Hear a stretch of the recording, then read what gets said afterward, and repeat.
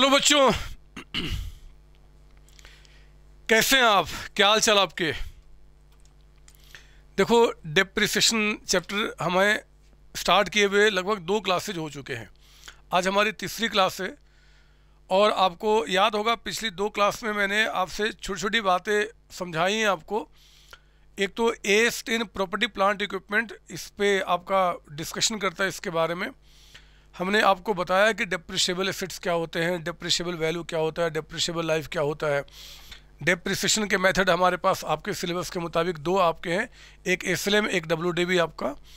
उससे कैसे डिप्रिसिएशन निकालते हैं एंट्रीज कैसे बनता है, वो सारी बातें डिस्कस किया। पिछली क्लास में आपको याद होगा, मैंने एक वर्ड आपको समझाया था पुट टू यूज़ और मैंने आपको समझाया था एसिड्स के कॉस्ट का मतलब क्या होता है। एसेट्स की कॉस्ट का मतलब जो भी फ़र्स्ट टाइम खर्चे करते हैं हम लोग, वो सारे एसेट्स की कॉस्ट में ऐड होता है। सिर्फ़ फ़र्स्ट टाइम के बाद खर्च होगा तो उसका क्या करेंगे, वो भी हमारे डिस्कशन का टॉपिक बनेगा। मैं आपको बताऊँगा उसके बारे में भी। अल्टीमेटली हम लोग जब चैप्टर को एंड करेंगे तो कॉन्सेप्ट हमारे तरीके से पूरे स्ट्रॉन्ग हो जाएँगे। आज मेरे बच्चे, अब पीछे की जो बातें मैंने बताई थी, उस पर मैं एक क्वेश्चन कराऊँगा आपको, फिर कुछ और अच्छे कॉन्सेप्ट सीखेंगे और फिर चैप्टर को हम अभी आगे बढ़ाएँगे प्रैक्टिस की तरफ़। हमारा चैप्टर चल रहा है डेप्रीसिएशन अकाउंटिंग डिप्रिसिएशन अकाउंटिंग और इसमें, आज की क्लास में मैं पहले एक आपको कॉन्सेप्ट बिल्डिंग क्वेश्चन के साथ शुरुआत करूँगा। कॉन्सेप्ट बिल्डिंग क्वेश्चन मुझे नहीं पता पिछले दो क्लासेज में हम लोगों ने कितने रिवीजन क्वेश्चंस किए हैं। तो आप जितना भी रिवीजन सॉरी प्रैक्टिस क्वेश्चन किए हैं तो उसके आगे का आप नंबर लिखना, या फिर चाहो तो आज की क्लास में एग्ज़ाम्पल नंबर वन भी आप लिख सकते हैं। लिखिए मेरे साथ यहाँ पे, कहता है ऑन फ़र्स्ट जनवरी 2019 लिखेंगे मेरे साथ आप फ़र्स्ट जनवरी 2019 को firm purchased firm purchased purchased machine machine costing rupees लिखी मेरे साथ साथ। मैं कॉन्सेप्ट को जो पहले बताया था, उसको समझा रहा हूँ। कॉस्टिंग रुपीज़ यहाँ पे फाइव लैक्स पाँच लाख का हमने मशीन परचेज किया।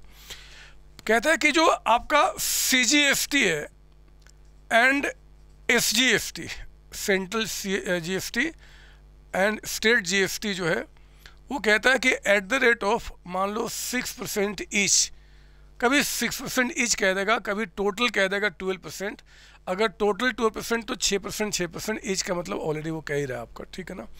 फिर कहता है कि firm paid firm paid rupees forty thousand as installation expense installation installation charges कह दो आप charges charges on same date उसी दिन पे आपने इसको इंस्टॉल कराया और आपको फोर्टी थाउज़ेंड का चार्ज यहाँ पे लग गया, ठीक है ना? फिर क्या था, आगे क्वेश्चन में लिखेंगे आप यहाँ पे ऑन फ़र्स्ट अप्रैल 2020 मतलब अगले वर्ष firm purchased firm purchased firm purchased a second hand second hand machine second hand machine for rupees two lakh forty thousand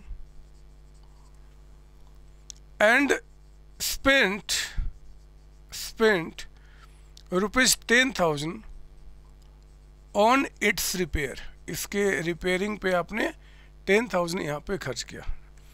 ten thousand repair and और कर देते हैं यहाँ पे and rupees forty thousand forty को फिगर रिपीट हो रहा है? सर हाँ तो फिफ्टी कर दो आप यहाँ पे। Fifty thousand as freight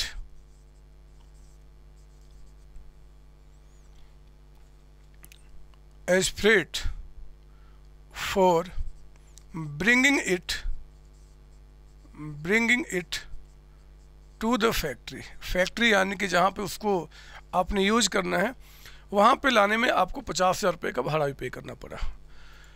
ये कहता है कि प्रिपेयर कहता है कि prepare machine account machine account for the year, for the year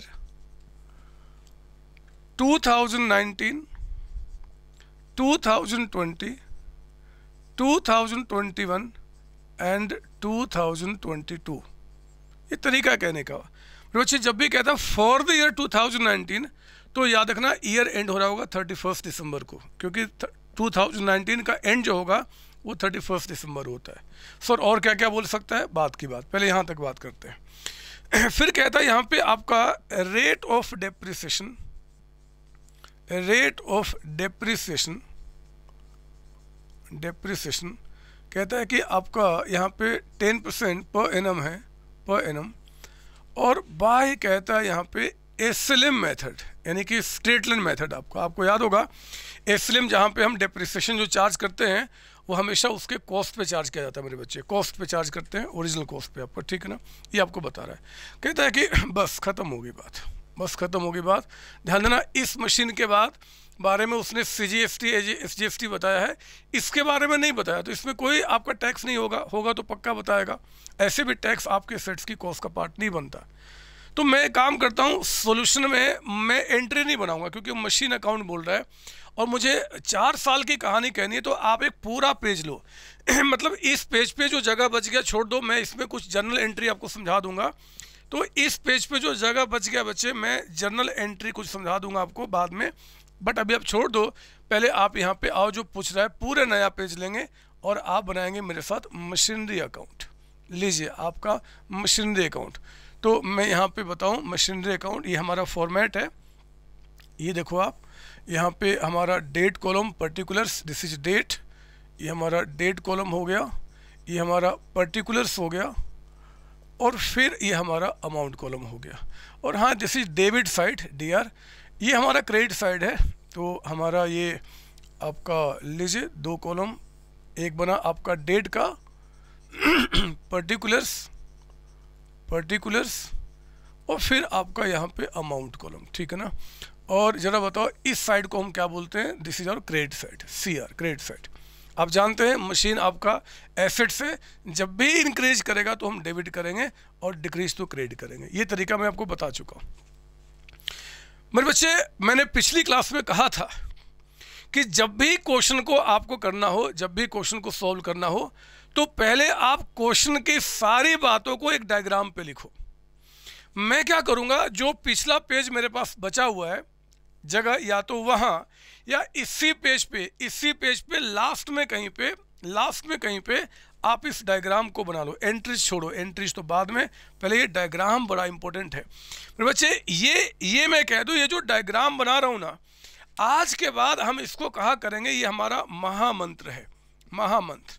आप बिलीव करो, ये ये डायग्राम ही क्या करेगा, आपको इस चैप्टर पे कमांड करेगा। ये डायग्राम अगर ठीक से बन गया तो चैप्टर में 90 परसेंट काम आपका ख़त्म हो चुका है। मैं आपको दिखाऊँगा आगे जितना आगे बढ़ेगा। पहले सुनो, आपने क्या किया मेरे बच्चे? फ़र्स्ट जनवरी 2019 को हमने एक मशीन परचेज किया। एक्चुअली इस क्वेश्चन में दो मशीन की बात कर रहा है। तो ये जो पहला वाला मशीन परचेज किया ना, उसका एक नाम दे देता हूँ एम वन दो मशीन है ना तो मैं यहाँ पे M1 के नाम से इसको जानूँगा। जरा बताओ, ये मशीन कितने का परचेज किया? तो सर फाइव लैक्स ये होगा। ये जो फोर्टी थाउज़ेंड इंस्टॉल करने में जो आपने पे किया, वो भी मशीन के कॉस्ट में हो जाएगा। यानी कि M1 की कीमत फाइव लैख फोर्टी थाउज़ेंड में रिकॉर्ड करूँगा। फाइव फोर्टी आपका, पाँच लाख चालीस हज़ार रुपये का। ये जो सी जी एस टी और एस जी एस टी पे कर रहे हैं, ये मशीन का कॉस्ट नहीं होता मेरे बच्चे, इसलिए हम इसको यहाँ पे इंक्लूड नहीं तो फाइव फोर्टी की एंट्री होगी, ठीक है ना? आगे बढ़ता हूँ फ़र्स्ट जनवरी के बाद फिर क्या हुआ? ये देखो first April two thousand twenty मतलब यहाँ कहीं पर first April two thousand twenty अगले वर्ष हमने एक और भी मशीन परचेज किया। तो ठीक है उस मशीन का नाम जब हमने इसको M1 कह दिया तो मैं इसको M2 कह दूँगा। बताओ ये मशीन कितने का है? तो 240 में परचेज किया 10,000 आपने रिपेयरिंग पे खर्च किया पहली बार का रिपेयरिंग कॉस्ट सेकेंड हैंड पे वो भी कॉस्ट में होगा 250 हो गया। एंड 250 के बाद 50,000 का मेरे बच्चे फ्रेट पे किया for bringing it to the factory जहाँ पे यूज़ करना है। तो हमने कहा था कि पहली बार के सारे खर्चे आप ऐड करेंगे तो ये 240 प्लस 10 प्लस 50 थ्री लैक्स का मशीन आपके पास हो गया। ये तीन लाख का मशीन यानी कि M2 जो है मेरे बच्चे, वो थ्री लैक्स रुपीज़ का है और कहता है कि चार साल का मशीन अकाउंट बनाना है। जरा बताओ फ़र्स्ट जनवरी 2019 इसका एंड कहाँ पे होगा? मैं मैं, मेरे पास कई सारे कलर हैं तो मैं एंड ऐसे दिखाऊँगा, पहला साल यहाँ पे एंड हुआ। ये हुआ थर्टी फ़र्स्ट दिसंबर 2019 मेरे बच्चे, पहला वर्ष। सेकेंड ईयर जो हमारा एंड होगा, वो होगा थर्टी फ़र्स्ट दिसंबर आपका 2020 को। थर्ड ईयर जो आपका एंड हुआ, ये सेकेंड था, जो आपका थर्ड ईयर एंड होगा, वो thirty first December two thousand twenty one को। एंड जो फोर्थ ईयर आपका एंड होगा, वो आपका thirty first December two thousand twenty two को। चार साल की कहानी कहनी है। ठीक है ना? तो कुछ भी दिक्कत नहीं है। आप बस पेशेंस वाइज मेरी बातें सुनो और देखो कितने अच्छे तरीके से इस चैप्टर पे आपको कमांड होगा। देखो क्या हुआ। मेरे बच्चे, पहले आपने एक तारीख को मशीन परचेज किया। तो मैं एक तारीख की एंट्री लेकर आऊँ। आपने क्या करना है? फ़र्स्ट जनवरी 2019 को यहाँ पे हमने मशीन कितने का लिया? 540 का। मेरे बच्चे बैंक से पेमेंट आपका हुआ होगा तो हमने कह दिया to bank account to bank account और मैं एक काम करता हूँ। मैं चाहूँ ना तो दोनों एंट्री को अलग अलग दिखाऊँ। फाइव लैक्स का पेमेंट अलग दिखा दूँ फोर्टी थाउज़ेंड का पेमेंट अलग दिखा दूँ। ये भी कर सकता हूँ। लेकिन क्योंकि सेम डेट पे ये दोनों पेमेंट हुआ है तो मैं इकट्ठा करके इसको फाइव लैख फोर्टी थाउज़ेंड का दिखा दूँगा। आप अपने जो आपके स्कूल वाले सर होंगे, उनसे पूछ लेना। अगर वो कहते हैं कि, ना ना हम तो भैया अलग से दिखाएँगे तो बोल देना कि, ठीक है जी, अलग से, जब अलग से दिखाओगे तो टू बैंक टू बैंक दो बार लिख देना। एक बार आपका फाइव लैक्स जो मशीन का पेमेंट किया एंड फोर्टी जो पे किया, फिर से टू बैंक आपका। बट क्या फ़र्क पड़ेगा? मीनिंग सेम है। लेकिन अगर स्कूल वाले सर ऐसा बोलेंगे तो कर देना। बट एक्चुअली क्योंकि एक ही दिन पे एंट्री हो रही है और एक ही आपके एसेट्स में ऐड होना है तो हम यहाँ पे कर सकते हैं। और हाँ मैं ब्रैकेट में मेरे बच्चे इसको लिख दूँगा एम वन ब्रैकेट वाली बातें अपने समझने के लिए होती है और एग्जामिनर को समझाने के लिए जब क्वेश्चन में एक मशीन से ज़्यादा दो, तीन, चार मशीन की बात करेगा तो आप ऐसे लिख देना अच्छा लगेगा आपको भी एग्जामिनर को भी, और बातें समझ में आएँगी। अब देखो क्या हुआ। नज़रिया। नज़रिया। हमने मशीन परचेज कर लिया। मेरे बच्चे, समय चला। चलते चलते चलते चलते चलते, देखो एक साल गुजर गया। एक साल। आज वो दिन है जो साल एंड हो चुका है। मेरे बच्चे, साल के एंड में आपको डेप्रिसिएशन चार्ज करना पड़ता है। बताओ डेप्रिसिएशन चार्ज करने से मशीन की वैल्यू बढ़ेगी कि कम हो जाएगी? सर कम हो जाएगी। तो मेरे बच्चे मशीन को कम करो और आप यहाँ पे थर्टी फ़र्स्ट दिसंबर यहाँ पे 2019 को आपने क्या बोल दिया? बाय डेप्रिसिएशन लीजिए, मशीन कम हो गया। क्यों कम हो गया जी? क्योंकि हमने डेप्रिसिएशन चार्ज किया है। बाय डेप्रिसिएशन अकाउंट और ब्रैकेट में क्या लिख दिया? एम वन एम वन पे चार्ज कर रहा हूँ मेरे बच्चे। पहले मशीन पे फ़र्स्ट मशीन पे।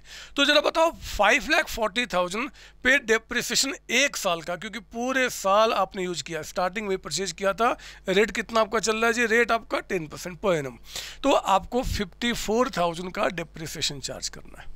है ना? फाइव लैख फोर्टी थाउज़ेंड पे टेन परसेंट का आपका रेट है तो पूरे वर्ष का डिप्रिसिएशन कितना हो जाएगा? फिफ्टी फोर थाउज़ेंड और ध्यान रखना, यहाँ पे पर एनम है। पर एनम कहाँ गया? कहाँ गया? कहाँ गया वो पर एनम ये देखो पर एनम तो मेरे बच्चे पर एनम का मतलब कि ध्यान भी देखना है कि कितने समय हमने सेट्स उस साल में यूज़ किए हैं। तो इस पर तो कोई दिक्कत ही नहीं हुआ। आओ ना, पहला साल खत्म हो गया थर्टी फ़र्स्ट दिसंबर 2019 को एंड में आपने कहा by balance C D C D कितना बच गया जी और कौन सा मशीन बच गया? एम वन है ना? अभी तक तो एम टू आया ही नहीं। एम टू तो अगले साल आएगा। तो आप चला बताओ फाइव फोर्टी में इतना डिप्रिशिएट किया तो कितना बच गया?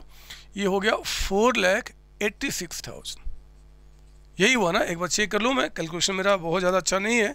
Four eighty six and fifty four I think हाँ जी, मैंने बिल्कुल सही काम किया है। कैलकुलेशन मेरा अच्छा है मेरे बच्चे। आप आप क्यों ऐसे बुराई करते हो कि सर का कुछ भी अच्छा नहीं है? है ना अच्छा? लो, मैं इसको क्लोज करता हूँ और पाँच लाख चालीस हज़ार रुपये आपका यहाँ पे इसको दिखाता हूँ। ये हमारा 540 एंड 540 का अमाउंट आपका यहाँ पे टैली कर गया। पहला साल हमारा एंड हो गया। लो, ख़त्म हो गया पहला साल। सेकेंड ईयर में आता हूँ और जरा बताओ, अगले साल की शुरुआत कब होगी? फ़र्स्ट जनवरी 2020 से। समझो ना मेरी बात, जो पिछले साल का एंड था, वो इस साल का स्टार्टिंग हो जाएगा। तो to balance B D to balance B D कितना जी? Four lakh eighty six thousand आप मुझे बताइए 486 किसका वैल्यू है? तो सर M1 का। अब M1 में यहाँ पे क्यों लिखूँ? जब M1 मैंने यहाँ लिखा ही हुआ है तो वही वैल्यू आपका है जी। बार बार क्यों दिखाऊँ? क्यों दिखाओ? बार बार जब आँखें से दिख सकता है कि 486 486 यानी कि जो M1 है वो इतने का आपका, ठीक है ना? आगे बढ़ता हूँ, आगे। नज़र यहाँ नज़र यहाँ, ये देखो ना। अरे देखो तो कम से कम, देखो तो। अब समय आगे चला, अगला साल। चलते चलते चलते मेरे बच्चे फ़र्स्ट अप्रैल आया। और फ़र्स्ट अप्रैल को एक नया मशीन आपने परचेज किया। थ्री लैक्स का। देख लो फिर से मशीन खरीदा। अरे, फिर से मशीन खरीदा। जरा बताओ, मशीन अगर फिर से कर परचेज करूँगा तो मशीन हमारा बढ़ेगा कि कम हो जाएगा? सर, बढ़ेगा। और मेरे बच्चे एसेट्स का बढ़ना डेबिट होता है। तो मैं यहाँ पे क्या करूँगा? फ़र्स्ट अप्रैल 2020 को फिर से रिकॉर्ड करूँगा टू बैंक अकाउंट और हाँ मैं अपने सर को बताऊँगा ब्रैकेट में लिख कर कि ये एम है, ये सेकेंड मशीन है। पहला मशीन हमने पिछले साल परचेज किया था। सेकंड मशीन हमने इस साल परचेज किया। बताओ ना कितने का? थ्री लैक्स का अमाउंट मेरे बच्चे, तीन लाख रुपए हमने यहाँ पे एंट्री दिखा दिया।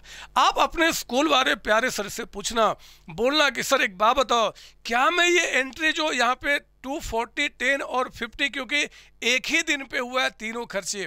अगर ये खर्चे अलग अलग डेट पे होते हैं तो मैं अलग अलग एंट्री करता। मैं आगे क्वेश्चन दिखाऊँगा, ऐसा आएगा। लेकिन क्योंकि इस क्वेश्चन में इसी तारीख को तीनों खर्चे आपके हुए हैं तो क्या मैं तीनों को इकट्ठा करके यहाँ दिखा सकता हूँ? अगर वो कहेंगे हाँ तो ठीक है। अगर कहते हैं कि, ना तो मेरे बच्चे to bank to bank to bank तीन बार कर लेना। क्यों दुश्मनी करोगे अपने प्यारे सर से? क्यों दुश्मनी करोगे? लेकिन लॉजिकली जब आप बड़े हो जाओगे और जब आपको एंट्री सिखाया जाएगा तो एक दिन पे जो एंट्री होता है, हम उसको एक ही अकाउंट वाला, खासकर एसेट्स का, हम क्लब कर सकते हैं। ठीक है ना? तो हमने अभी क्लब करके दिखाया, शायद आपके प्यारे सर भी बोलेंगे कि यही काम कर लो, कोई बात नहीं, अब मैं आगे चलता हूँ। आओ ना आओ ना आओ ना कम से कम देखो तो एक बार मैं क्या करता हूँ। ये देखो, समय आगे चला और चलते चलते चलते चलते मेरे बच्चे साल का एंड आ गया। साल के एंड आने पे दोबारा मैं यहाँ पे डेप्रिसिएशन चार्ज करूँगा। हर एक साल के एंड में हमें डेप्रिसिएशन चार्ज करना होता है। तो मेरे बच्चे, साल के एंड में डेप्रिसिएशन चार्ज करूँगा। तो आओ जरा अब थर्टी फ़र्स्ट दिसंबर और ये कौन सा ईयर आ गया जी? आपका 2020 यानी कि इस साल का एंड हमने लिखा बाय डेप्रिसिएशन अकाउंट हमने लिखा बाय डेप्रिसिएशन अकाउंट आपका। इस बार मेरे बच्चे दो मशीन है मुझे डेप्रिसिएशन चार्ज करने के लिए। इस पर दो मशीन मेरे पास है डेप्रिसिएशन चार्ज करने के लिए। तो मैं यहाँ पे डेप्रिसिएशन में दिखाऊँगा M1 पे कितना चार्ज किया और M2 पे कितना चार्ज किया। बहुत क्लियरिटी आएगी। एक बड़े टिपिकल कॉन्सेप्ट को बहुत सिंपल तरीके से आपको बताने की कोशिश कर रहा हूँ और आपको मज़ा आएगा मेरे बच्चे। हमने दिखाना है M1 M2 पे कितना हुआ। आओ ना, सुनो जरा। एक काम करते हैं, एक काम करते हैं। जहाँ पे फॉर्मेट एंड हुआ, उसके बाद उसके बाद या ये जो पेज आपका बच गया था, वहाँ पे, जहाँ भी मर्ज़ी आप वर्किंग नोट्स शुरू करो। वर्किंग नोट्स नंबर वन आप देखो, मैं वर्किंग में एग्जामिनर को समझा रहा हूँ मतलब मैं तो आपको समझा रहा हूँ कि डेप्रीसिएशन जो चार्ज होगा as on thirty first December कौन सा जी? टू थाउज़ेंड ट्वेंटी इस दिन जो डेप्रिसिएशन चार्ज होगा, वो कैसे निकलेगा? पहले मैं M1 पे दिखाता हूँ M1 पे। सुनो मेरी बात, ये देखो, मैं कुछ आपको रेड से दिखाऊँगा। मेरे बच्चे, इस बार जो डेप्रिसिएशन चार्ज कर रहे हैं वो इस साल का ये इस वर्ष का चार्ज हो रहा है, यहाँ पे। देख रहे हो आप? इस समय का। मुझे बताओ M1 को M1 पहला मशीन क्या मशीन पहला जो है वो इसके बीच में आपने परचेज किया है या इसके पहले परचेज किया है? बताओ बताओ। M1 जो पहला मशीन है, क्या आपने 2020 में परचेज किया या पिछले साल? सर, पिछले साल परचेज किया था। मेरे बच्चे, तब तो इस साल, पूरे साल आपने उसको यूज़ किया है। अगर कोई एसेट्स पिछले साल ही आपके पास आ गया था तो इसका मतलब इस साल तो पूरे साल आपने यूज़ किया तो मैं पूरे साल का डेप्रिसिएशन चार्ज करूँगा। जल्दी से क्वेश्चन पढ़ के बताओ मेथड कौन सा है? मेथड कौन सा? सर मेथड तो एस है। एसएलएम मेरे बच्चे, मैंने कहा था, जब एसएलएम होगा तो हमेशा डेप्रिसिएशन आप उसके कॉस्ट पे चार्ज करते हो। कॉस्ट पे। जरा बताओ M1 की कॉस्ट कितनी थी? फाइव लैख फोर्टी थाउज़ेंड तो मेरे बच्चे पाँच लाख चालीस हज़ार रुपये पे हम इस साल भी डेप्रिसिएशन चार्ज करेंगे। रेट क्वेश्चन कितना बता रहा है? टेन परसेंट और कितने समय का? पूरे वर्ष का। पूरे वर्ष का, क्योंकि हमने पूरे साल यूज़ किया। मेरे बच्चे पूरे वर्ष का मतलब हो गया। देखो मैं क्या बता रहा हूँ। अब इसके आगे मत लिखना। ये जो डेप्रिसिएशन आ गया पर एनम था मतलब पूरे साल का तो पूरे साल का ये तो चाहिए, कितना हो गया? फिफ्टी फोर थाउज़ेंड ये आपका अब लिख सकते हो आप कि M1 पे आपका 54 M2 पे आओ जरा M2 पे देखते हैं। मुझे बताओ M2 की कॉस्ट कितनी है? यहाँ देखो थ्री लैक्स तो हमने तीन लाख रुपए लिखा। आप बताओ रेट कितना है? Sir ten percent per annum लिखा मेरे बच्चे, लेकिन समझो ना समझो ना मेरी बात। जरा देखो तो कम से कम एक बार। हमने M2 को बस इतने समय यूज़ किया है करंट ईयर में, क्योंकि इस साल ही परचेज हुआ था। अप्रैल से लेकर दिसंबर नौ महीने होते हैं। मेरे बच्चे, क्योंकि हमने नाइन मंथ्स इसको यूज़ किया है तो depreciation will be charge for nine months only नौ महीने का। यही हुआ ना, हमने पिछली क्लास में बताया था, जितने समय आपने सेट्स यूज़ किया, उतने समय का चार्ज कीजिए, और क्योंकि रेट के आगे पर एनम लिखा हुआ है तो हम टाइम पीरियड कंसीडर करेंगे। अगर पर एनम ना लिखा होता है, अभी क्वेश्चन आएगा, दिखाऊँगा तो मैं फ्लैट चार्ज कर देता मेरे बच्चे, है ना? फ्लैट चार्ज कर देता, लेकिन यहाँ पे बताओ कितना। तो आई थिंक बाईस हज़ार पाँच सौ twenty two thousand five hundred check कर लेता हूँ क्योंकि मेरा कैलकुलेशन ठीक नहीं है आप जानते हैं इस बात को थ्री लैक्स का टेन परसेंट और into nine divide by twelve हाँ ठीक तो है मेरा कैलकुलेशन क्यों बार बार मुझे बेइज्जत करते हो बच्चे? ये निकल के आया। मैं काम करता हूँ, ये डेप्रिसिएशन जो मैंने यहाँ पर निकाला, उसको मैं यहाँ लिख दूँ कि M1 पे हमने चार्ज किया है फिफ्टी फोर थाउज़ेंड और M2 पे जो चार्ज किया twenty two thousand five hundred यानी कि टोटल डेप्रिसिएशन कितना चार्ज किया जी?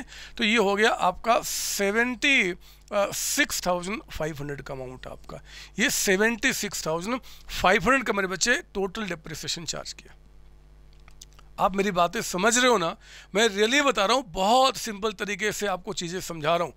बहुत सिंपल तरीके से मेरे बच्चे खाना खाना जितना आसान है, उससे ज़्यादा सिंपल डेप्रिसिएशन समझना है। वो खेल जो आप खेलते हो, उससे ज़्यादा सिंपल डेप्रिसिएशन समझना है। तो आओ ना, हमने यहाँ पे डेप्रिसिएशन चार्ज किया और जब डेप्रिसिएशन चार्ज कर दिया तो पता करो, अब डेप्रिसिएशन चार्ज करने के बाद साल के एंड में आपके पास ये दोनों जो मशीन है, उनकी बाई बैलेंस सी डी यहाँ वैल्यू कितनी बची हुई है? एम वन का भी और यहाँ पे एम टू का भी। एम वन की वैल्यू कितनी बची है एम टू कितनी वैल्यू वो हम देखते हैं। तो क्योंकि मैं अभी समझा रहा हूँ, आगे से इस वर्किंग को कोई रिक्वायरमेंट नहीं है। मैं फटाफट क्या करूँगा कैलकुलेशन करूँगा, यहाँ पे लिख दूँगा। आप भी एग्ज़ाम में कर सकते हैं। लेकिन अभी अब छोटे छोटे प्यारे प्यारे बच्चे हैं, आप चीज़ें सीख रहे हैं, इसलिए मैं आपको क्या कर रहा हूँ, मैं यहाँ दिखाऊँ कि आखिर वैल्यू कितना है। है ना? या यही दिखा देता हूँ, कौन फालतू में टाइम में बात करेगा। ये देखो आप नज़र यहाँ चलो बताओ 2020 के स्टार्टिंग में, नज़र यहाँ यहाँ, इस साल के स्टार्टिंग में, आपका M1 की वैल्यू कितनी थी? बुक वैल्यू 486 था ना बच्चे, ये M1 की वैल्यू है। तो हमने कहा कि यार four lakh eighty six thousand जो वैल्यू हमारे पास था स्टार्टिंग में, इसमें से फिफ्टी फोर थाउज़ेंड हमने और डिप्रिशिएट कर दिया। हमने और वैल्यू कम कर दी। तो बताओ, अब M1 की वैल्यू कितनी बच गई? है ना? Four lakh eighty six thousand जो स्टार्टिंग में था, इसकी वैल्यू बची हुई हमारे बुक में। हमने यहाँ पे फिफ्टी फोर थाउज़ेंड और डिप्रिशिएट कर दिया। मेरे बच्चे, यहाँ पे four lakh and thirty two thousand की वैल्यू बच गई। ये रहा आपका एम की वैल्यू ये मैं वर्किंग में भी कर सकता था, यहाँ भी कर देता हूँ। क्या फ़र्क पड़ता है? सर एग्ज़ाम में जहाँ मन करे, वहाँ करो। कोई दिक्कत नहीं है। एम टू का समझते एम टू का। जरा बताओ एम टू कितने का लिया था? आपने थ्री लैक्स इस साल ही लिया था मेरे बच्चे। तो थ्री लैक्स में जरा बताओ, अभी तक हमने डिप्रिसिएशन कितना चार्ज कर दिया? Twenty two thousand five hundred बाईस पाँच सौ। तो बताओ इसकी वैल्यू कितनी रही? थ्री लैक्स में से अगर मैं यहाँ पे twenty two thousand five hundred का डिप्रिसिएशन चार्ज करूँ तो मेरे बच्चे two lakhs seventy seven thousand and five hundred की वैल्यू इसकी बच गई है। तो ये हमारा बुक वैल्यू हो गया सेकेंड ईयर के एंड में डिप्रिसिएशन चार्ज करने के बाद। बताओ दोनों मिला के कितना? तो four lakh thirty two thousand और plus two seventy seven five hundred ये seven lakh nine thousand and five hundred की वैल्यू को शो कर रहा है। लीजिए, मेरा काम पूरा हो गया मेरे बच्चे। ये आपका यहाँ पे देखो, यहाँ पे देखो, जरा बताओ, ये टोटल कितना हो गया? Seven lakh eighty six thousand seven eighty six. विश्वास करो, जब इन दोनों को आप ऐड करोगे तो ये भी आपका seven lakh eighty six thousand ही आ जाएगा, क्योंकि दोनों साइड हमेशा टैली करते हैं। और मेरा काम, क्योंकि चीज़ें आपको समझाना है, बातों को इंटरप्रेट करना है तो देखो मैं इसको कैसे समझूँगा और कैसे आपको समझाऊँगा। लिखना बंद करो। देखो नो, देखो तो कम से कम, आपसे बात कर रहा हूँ। देखो इसका मतलब क्या होता है। इसका मतलब है कि मशीन साल के स्टार्टिंग में four lakh eighty six thousand के वैल्यू का आपके बुक में था। इतना था मेरे बच्चे। थ्री लैक्स का मशीन हमने और परचेज किया इस साल। तो total machine seven lakh eighty six thousand का हो गया। सेवन एटी सिक्स में इतनी वैल्यू मशीन की डेप्रिशिएट हो गई। इतनी वैल्यू कम हो गई। तो इतना वैल्यू अभी मशीन का बच गया है। ये हमारा अकाउंट कंप्लीट हाँ इसमें से कोई पूछे कि जरा बताओ M1 की वैल्यू कितनी है? तो देखो जी, इतना वैल्यू है। इसमें M2 का वैल्यू कितना है? तो इतना है। लिखा तो है डिटेल में M1 M2 आपका। समझो मेरी बात। ये कला है, ये अकाउंट्स की कला है बातों को समझने के लिए। आप किसी दूसरे को मत बता देना, है ना? कहीं उसको बता दिए तो फिर पता नहीं क्या होगा। ऐसा नहीं कहते, ये गलत है। आप दुनिया को बताओ। नॉलेज आपके पास है तो शेयर करो ना। कंपटीशन तो होगा, मेहनत का। कौन कितना मेहनत करता है? लेकिन चीज़ें बताने से रुकती नहीं है और खिलती है मेरे बच्चे। अगर आप ये किसी को एक्सप्लेन करोगे तो वो एक्सप्लेन करने के टाइम पे पहले आपके दिमाग में चलेगा। यानी कि आपके दिमाग में बातें रिवाइज होती चली जा रही हैं। तो आप ये काम को दोहराना, आप अपने पापा, अपनी मम्मी, अपना भाई, बहन, आपके घर में कोई भी आए, वो रिश्तेदार आ जाए, वो पड़ोसी आ जाए, या कोई भी वो दूध वाला, वो पानी वाला, वो चाहे कोई भी आ जाए, आप उसको बैठा के समझाना शुरू कर देना। मेरे बच्चे, घर में कोई आएगा, वो कहेगा कि, बेटा, कैसे हो? ना ना ना ना ना ना, मत पूछो कैसे हूँ। डिप्रेशन आओ मुझसे, समझ लो। पापा बोलेंगे, बेटा, मेला चलना ना पापा ना। आओ ना, समझो, मैं डिप्रेशन समझाऊँगा। इतना आतंक फैला दो, इतना आतंक फैला दो इस चैप्टर का कि कोई आपसे बात करने को भी ना चाहे।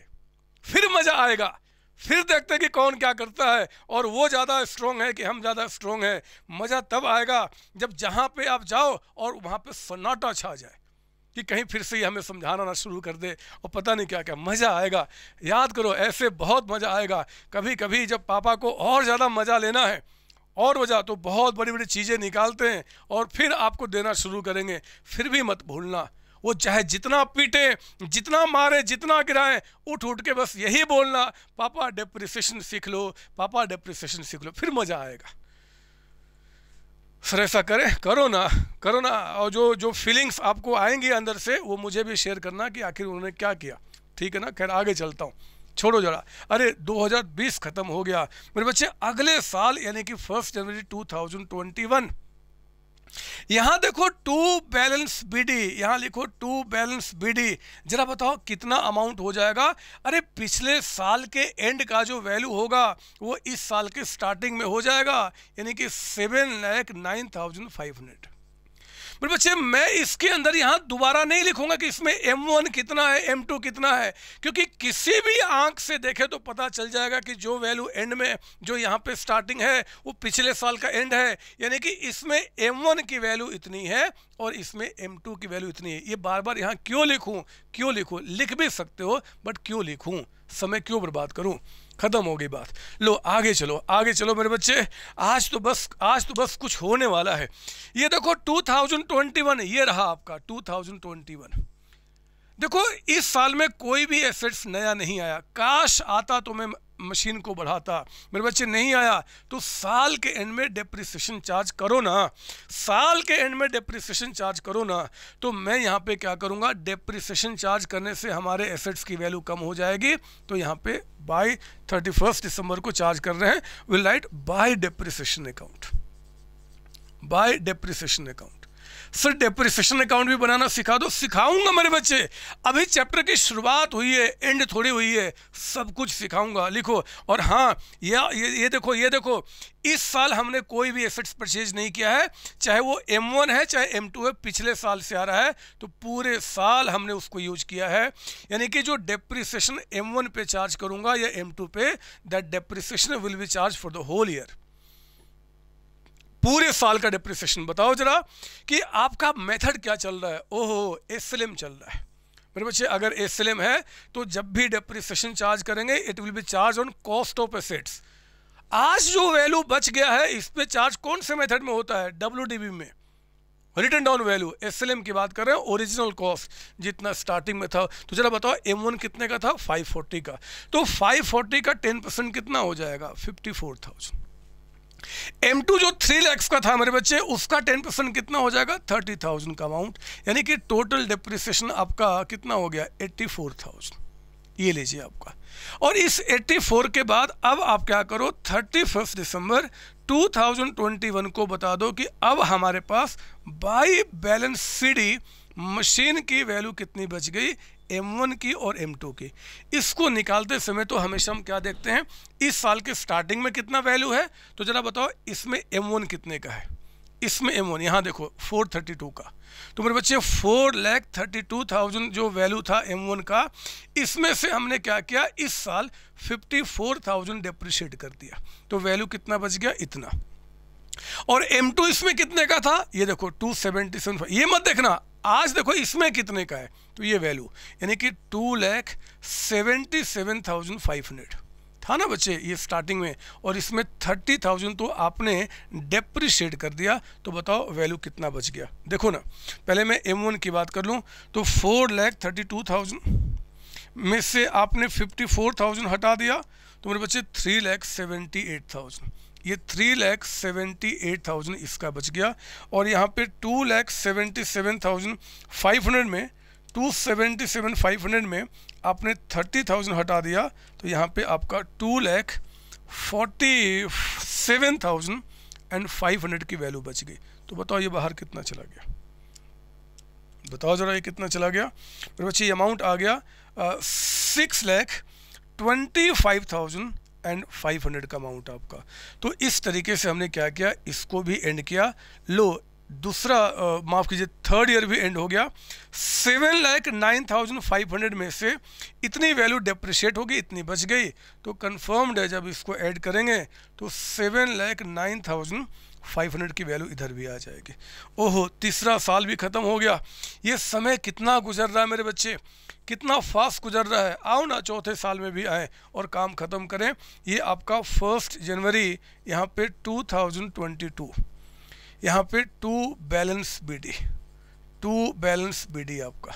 यहाँ पे six lakh twenty five thousand and five hundred का अमाउंट आपका। ये रहा हमारा। आया मैं चौथे वर्ष में। आया मैं मेरे बच्चे। अरे ये देखो, चौथे साल में भी कोई परचेज सेल नहीं हुआ मेरे बच्चे। बस साल के एंड में आपको डेप्रिसिएशन चार्ज करना है।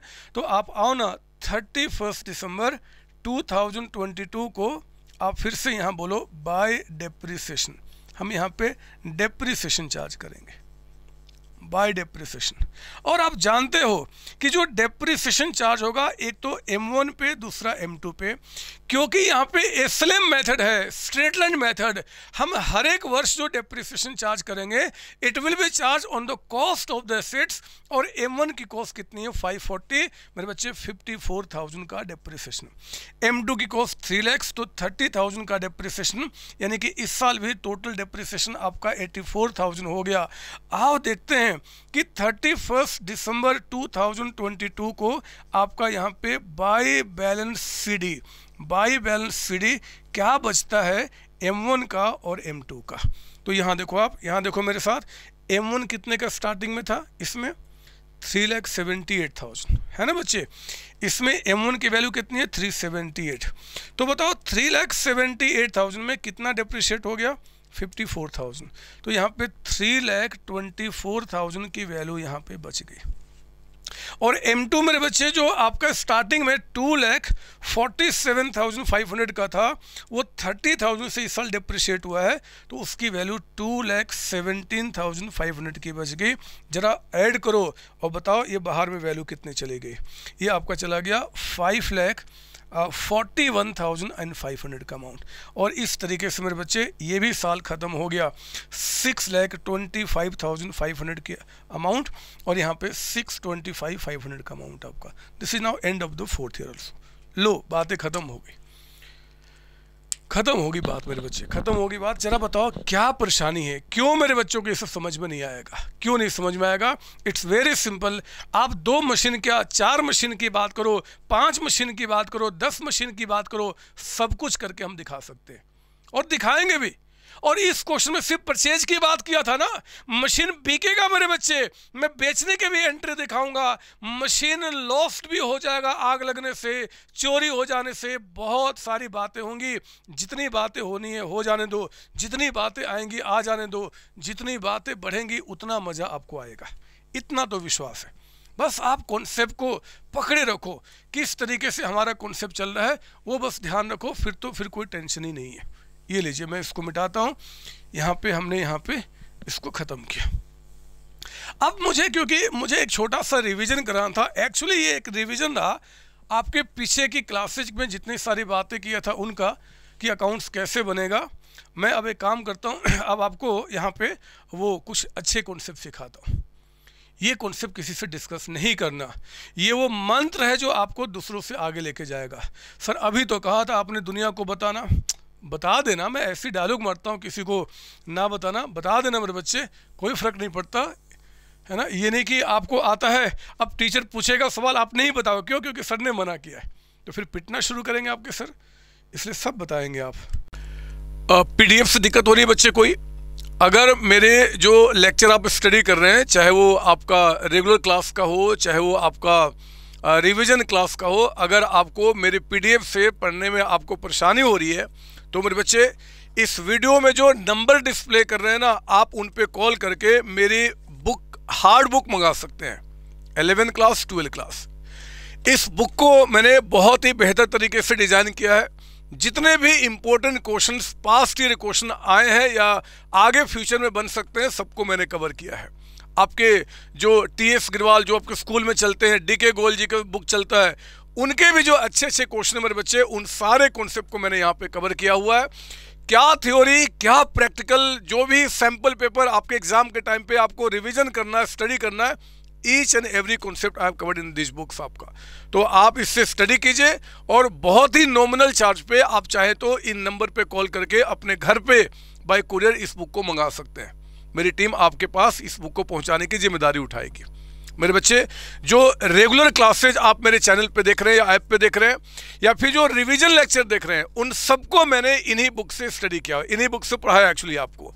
तो आप पढ़ें और इन्जॉय करें लाइफ को और आप दूसरों से आगे रहें। All the best all the best बच्चों।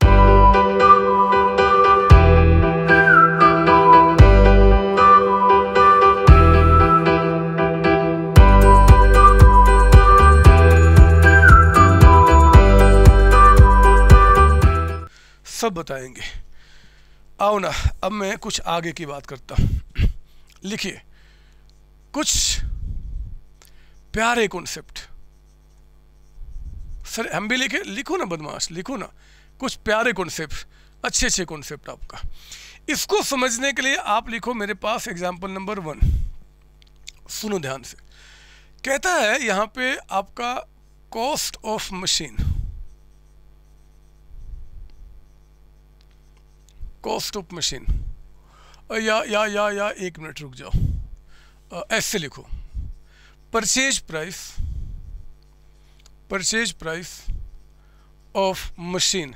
आपने एक मशीन परचेज किया है और उसका परचेज प्राइस कहता है कि फाइव लैक्स रुपीज़ है, पाँच लाख रुपए का। कहता है कि commission commission commission paid on purchase आपने ये जो मशीन किया, परचेज ऑफ़ मशीन, जो मशीन आपने परचेज किया है मेरे बच्चे, इस पर कहता है कि आपने टेन परसेंट का कमीशन पे किया। मतलब जब मशीन परचेज किया तो कोई एजेंट को आपने पकड़ लिया कि भैया अच्छा मशीन दिला दो। अच्छा मशीन कहीं ख़राब ना मिल जाए तो उसने आपसे कमीशन लिया होगा ना बच्चे? तो आपने क्या किया? टेन परसेंट कमीशन पे किया। फिर कहता है above machine above machine was sold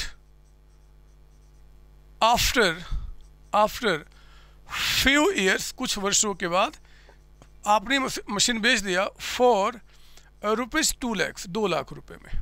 दो लाख में बेच दिया। कहता है कि कमीशन पेड जब आपने बेचा, किसी एजेंट के थ्रू बेचा है, यहाँ भी कमीशन पे किया आपने paid on sale of machine machine के को जो आपने बेचा था, उस पर कमीशन पे किया, वो कहता है आपका फाइव परसेंट बोलता है कि calculate calculate cost of machine बोलता है जरा बताओ मशीन की कॉस्ट कितनी है? एंड एंड कहता है कि सेल प्रोसीड्स सेल प्रोसीड्स या फिर इसको हम बोल सकते हैं net sale price net sale price bracket close of machine मेरे बच्चे, मैं आगे आने वाले कॉन्सेप्ट को पहले आपको समझा देना चाहता हूँ, ताकि आप परेशान ना हो। तो हमने परचेज किया जी, पाँच लाख का कमीशन पे किया परचेज पे आपका। इस मशीन को बेच दिया गया दो लाख में, और कमीशन पे किया सेल पे आपका। फाइव परसेंट बोलता है कि कॉस्ट कितना सुनो ना, पहले आप यहाँ देखो कॉस्ट ऑफ़ मशीन हमारे इस मशीन की कॉस्ट आखिर कितनी रिकॉर्ड की जाएगी? तो ये ऑब्वियस बात है कि फाइव लैक्स में परचेज किया, एक तो वो ले लो। और देखो जो आपने कमीशन पे किया परचेज के टाइम पे, ये फ़र्स्ट टाइम एक्सपेंडिचर है परचेज के टाइम पे। जब आपने, आप मार्केट में गए थे परचेज करने के लिए, उस टाइम पे ही मेरे बच्चे, आपने एजेंट को अपॉइंट किया होगा कमीशन पे किया होगा। तो आप जानते तो हो कि जो कमीशन पे किया, वो हम इस कॉस्ट में ऐड कर देंगे और वो कमीशन कितना है? फाइव लैक्स का टेन परसेंट यानी कि फिफ्टी थाउज़ेंड तो आप बताओ कॉस्ट आपकी कितनी बन गई? फाइव लैख फिफ्टी थाउज़ेंड ये हमारा मशीन का कॉस्ट हो गया। यानी कि परचेज के टाइम पे जो मैंने कहा तो था पिछली क्लास में, आप ऐसे क्यों देख रहे हो? अरे, पहले जो खर्चे हमने किया फ़र्स्ट टाइम जो खर्चा आपका होता है, हम उसको मशीन की कॉस्ट में ऐड करते ही करते हैं, वो हमने ऐड कर दिया। ठीक है। अब कहता है कि ज़रा बताओ नेट सेल प्राइस अगर हमें निकालना है net sale price of machine तो ज़रा मेरे शब्दों को ध्यान से सुनना। जरा बताओ मशीन हमने बेचा कितने में? टू लैक्स में। मेरे बच्चे टू लैक्स में हमने मशीन बेच दिया। लेकिन जरा बताओ, जब मशीन बेचा तो हमने एक एजेंट को पकड़ा, बोला कि यार, आप बिकवा दो। उसने बिका दिया और उसमें हमसे पाँच परसेंट का कमीशन ले लिया फाइव परसेंट का कमीशन तो जरा बताओ फाइव परसेंट का जब वो कमीशन लिया तो मेरे हाथ में टू लैक्स आए क्या? नहीं सर टू लैक्स में हमने टू लैक्स का फाइव परसेंट जो है ना, हमने कमीशन के रूप में पे कर दिया उस एजेंट को जिसने मुझसे सेल करवाया, जिसने गुड्स बेचा, मशीन बेचा मतलब टेन थाउज़ेंड कमीशन। तो मेरे बच्चे, हमारे हाथ में कितना आया? वन लैख नाइन्टी थाउज़ेंड, एक लाख नब्बे हज़ार रुपये यानी कि मशीन का जो सेल प्राइस आपके बुक में रिकॉर्ड होगा कि मशीन बिका कितने में? मत कहना दुनिया को कि टू लैक्स में बेचा है। आप कहना कि हमने 190 में बेचा है। एक्चुअली दो लाख में बेचा था, लेकिन टेन थाउज़ेंड हमें कमीशन पे करना पड़ा। समझो तो मेरी बात को। मैंने ये सामान टू लैक्स में बेचा, लेकिन जिसके थ्रू बिकवाया, उसने टेन थाउज़ेंड हमसे कमीशन ले लिया।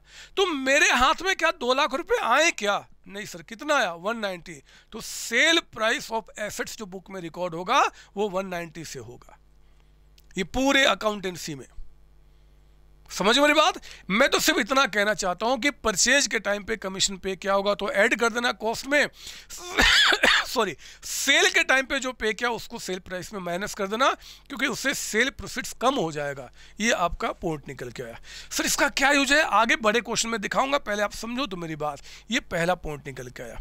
तो मैं इसको नोट के रूप में लिखा ही देता हूँ। क्या जाएगा? लिखो यहाँ पे नोट कि commission commission paid on purchase, paid on purchase, जब परचेज पे आपने कमीशन पे किया है, paid on purchase of asset, जिसको हम क्या बोलते हैं जी, हमारे जो डायग्राम था उसके हिसाब से first time expenditure, first time expenditure, bracket close. Commission paid on purchase of asset is added, ये ऐड होता है, added to the cost of asset. To the cost of asset मेरे बच्चे एसेट्स की कॉस्ट में हम इसको ऐड करते हैं। लेकिन कहते हैं कि कमीशन ये नंबर वन था, अब नंबर टू लिख रहे हैं आप। कमीशन साथ साथ लिखिए। Paid on sale of asset sale of asset commission paid on sale of asset कहता है कि is deducted from sale price to calculate to calculate net sale price आपका नेट सेल प्राइस को जानने के लिए हमें उसको मैनस करना होता है मेरे बच्चे मैनस करना होता है। आई बात समझ में? बात समझे आप? सर हाँ सर हाँ। और कुछ समझाना है? बहुत सारी बातें मेरे बच्चे। लिखो ना पहले इसको। मैं बहुत सारी बातें आज समझाना चाहता हूँ। आज तो बस मैं आज अपने बच्चे को बोल के आया हूँ कि मुझे अपने बाकी बच्चों के साथ थोड़ा खेल लेने दो। वो कहा, पापा, ठीक है, आपको जितना खेलना खेलो अपने बच्चों के साथ। फिर मेरे साथ आके खेलना। तो आज मुझे कोई फ़िक्र नहीं है। आज मैं कितना भी क्वेश्चन करा सकता हूँ। आपके साथ बहुत चिल्लाना पड़ता है। आपको लगता है कि यार सर तो कितना आराम से आते हैं, स्टूडियो में बढ़ा के चले जाते हैं? ऐसा नहीं होता बच्चे। ये पूरा का पूरा गला जो है ना, इससे ये गला मेरी आत्मा, मेरा दिमाग, मेरा दिल चारों को एक साथ इकट्ठा करना पड़ता है। और फिर आपको पढ़ाना पड़ता है। अगर चारों में से कोई भी एक इधर उधर जाता है तो फिर दिमाग पता नहीं कहाँ से कहाँ चला जाता है। तो मैं अपनी आत्मा को, अपने दिल को, दिमाग को और अपने शरीर को और अपनी आँखों को सबको आपके सामने निछावर करता हूँ मेरे बच्चे। तब जाके मैं आपको ये प्रोडक्ट दे पाता हूँ। खैर चलो, आपको क्या फ़र्क? अल्टीमेटली आपको बातें समझ में आनी चाहिए। बातें समझ में आनी चाहिए। मैं पूरी कोशिश करता हूँ कि बच्चा बना मुझे फ़ोन करे तो इसलिए कि बस सर मुझे सारी बातें समझ में आ गई। डाउट्स पूछते हैं बच्चे, इसका मतलब कि मेरे अंदर कुछ कमी है। और उस कमी को मैं वेलकम करता हूँ। ऐसा नहीं कि मुझे लगता है, यार, बच्चा क्यों फ़ोन कर दिया? करो ना फ़ोन डाउट है तो पूछो ना मुझसे। लेकिन डाउट हो तब पूछो आप मुझसे। पूरे लेक्चर को वॉच करो स्टार्टिंग से टिल द एंड फिर देखो कहाँ क्या डाउट बनता है। तब बात बनेगी, तब बात बनेगी। खैर, आइए, मैं अब अगले एग्ज़ाम्पल पे आता हूँ। एग्ज़ाम्पल नंबर टू मेरी बात सुनो। पहले आप एक काम करना एग्ज़ाम्पल नंबर टू में आपको दिखाता हूँ। पता है, यहाँ पे रुको रुको रुको रुको, पहले सुन लो मेरी बात, पहले मेरी बात सुन लो। देखो, एक कार, मैं परचेज करता हूँ मतलब आपके सर और एक आप परचेज करते हो, यानी कि स्टूडेंट कार का मतलब क्या? मैं एक एसेट की बात कर रहा हूँ। सर ये डायग्राम हम भी बनाए, बना सकते हो बट कोई खास नहीं, मैं इसको नोट में लिखाऊँगा। आप सुन लो मेरी बात। एक कार है मेरे बच्चे, एक कार है, एक घर है, एक मशीन है, एक बिल्डिंग, कुछ भी आपका। मैंने क्या किया इस कार को परचेज किया? कैश पे। कैश पे, कैश बेसिस। और मुझे पड़ा ये कार, मान लो, सिक्स लैक्स रुपीज़ में, छह लाख रुपए में, कैश पे। लेकिन आप जो हो ना, आप, आपने कार लिया क्रेडिट पे। क्रेडिट पे मतलब इंस्टॉलमेंट पे। क्रेडिट का मतलब कि इंस्टॉलमेंट आपने कहा कि हम बाद में पेमेंट कर देंगे, धीरे धीरे। जरा बताओ कि अगर मैं वो कार कैश में सिक्स लैक्स में लेता हूँ तो क्या क्रेडिट में आपको सिक्स लैक्स में मिलेगा क्या? बोलो ना, क्या इंस्टॉलमेंट पे जब कोई सामान लोगे आप तो सिक्स लैक्स में मिलेगा क्या? ना सर, ना। क्रेडिट पे जब भी कोई सामान मिलता है ना तो जो आपके एसेट्स का कैश प्राइस है, उसमें इंटरेस्ट भी ऐड हो जाता है। जब आप पेमेंट पार्ट पार्ट में करोगे तो जो सेलर है ना बच्चे, आपसे इंटरेस्ट भी लेता है। मान लो कैश प्राइस जैसे यहाँ पे सिक्स लैक्स था, और उसने कहा कि भैया हम पचास हज़ार रुपये फिफ्टी थाउज़ेंड आपसे इंटरेस्ट लेंगे तो प्राइस कितना बन गया? सिक्स लैख फिफ्टी थाउज़ेंड का, साढ़े छः लाख रुपये कैश पे लोगे छः लाख रुपये में क्रेडिट पे लोगे साढ़े छः लाख रुपये में। होता है ना बच्चे, ज़्यादा प्राइस होता है। मुझे बताओ, अगर मैं अगर मैं पूछूँ कि जो टोटल कॉस्ट ऑफ़ कार। मेरे लिए कितनी है? मेरे लिए। याद रखना, जितना कॉस्ट आप बोलोगे डेप्रिसिएशन उसी पे चार्ज किया जाएगा। जितना कॉस्ट आप कह दोगे ना मुझे, उसी पे डिप्रिसिएशन चार्ज होगा, क्योंकि डेप्रिसिएशन कॉस्ट पे चार्ज होता है। मुझे बताओ, मुझे, मेरे लिए इस एसेट्स की कॉस्ट कितनी है? सिक्स लैक्स तो मेरे बच्चे, मेरे लिए कॉस्ट कितना होगा? सिक्स लैक्स मैं डेप्रिसिएशन कितने पे चार्ज करूँगा? सिक्स लैक्स पे। लेकिन जरा बताओ, आपके लिए इस एसेट्स की कॉस्ट कितने रिकॉर्ड होगी?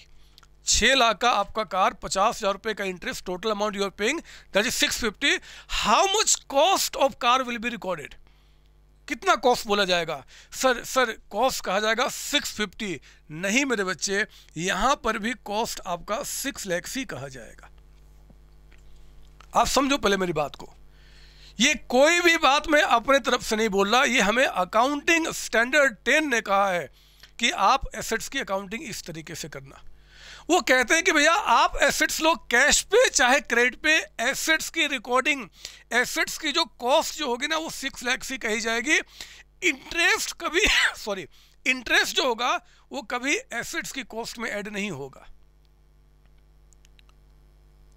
मैं इसको पहले एक नोट में लिखाता हूँ, फिर इसका रीजन समझाता हूँ, क्या आपका लिखो जरा यहाँ पे। इस डायग्राम को आपने कॉपी कर लिया होगा। अब लिखिए यहाँ पे नोट नंबर वन कहते हैं कि asset is always there is always always recorded recorded in the book in the book या फिर और और मैं सिंप्लीफाई करूँ। रुक जा रुक जाओ, थोड़ा सा यहाँ जोड़ू मैं।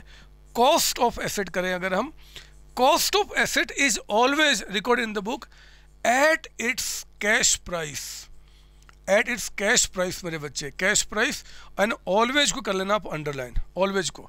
फुल स्टॉप आगे लिखना it does not matter it does not matter matter whether W H E T H E R whether purchased purchased on cash basis और क्रेडिट बेसिस और क्रेडिट बेसिस मेरे बच्चे, वो कहते हैं कि आप कैश पे लो, चाहे क्रेडिट पे लो, हमें फ़र्क नहीं पड़ता। एसेट्स की जो कॉस्ट रिकॉर्ड होगी, जिस पे आप डेप्रिसिएशन चार्ज करेंगे, वो हमेशा आपका, उसका कैश प्राइस होगा। मतलब अगर वो सामान कैश पे लूँगा तो जितने का पड़ेगा, उसी पर रिकॉर्ड होगा। ये जो इंटरेस्ट पे करते हैं ना इंटरेस्ट सुनो, ये बात आगे की है फाइनल अकाउंट में सिखाएँगे मेरे बच्चे। लेकिन आपको बता दें इंटरेस्ट जो होता है ना, जब हम प्रॉफिट लॉस अकाउंट बनाते हैं तो कहते भैया, जिस साल जितना इंटरेस्ट पे किया ना, उस साल उस साल उसको एक एक्सपेंस के रूप में दिखा दो। मतलब जिस साल जो इंटरेस्ट पे किया, उस साल के प्रॉफिट लॉस में उस साल ही दिखा दो, जिसको पार्ट पार्ट में खर्च के रूप में दिखाना है मतलब जिस पे डेप्रिसिएशन चार्ज करना है, वो सिर्फ़ एसेट्स का कैश प्राइस होगा। मेरे बच्चे इंटरेस्ट जो है, वो कभी भी एसेट्स की कॉस्ट में ऐड करना अलाउड नहीं है। समझिए मेरी बात?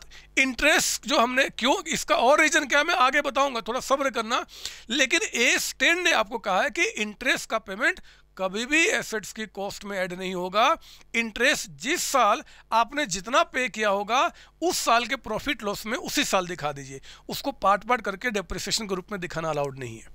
ठीक है ना? मैं इसको समझाने के लिए, मैं इसको समझाने के लिए एक एग्जांपल और कोट करता हूँ।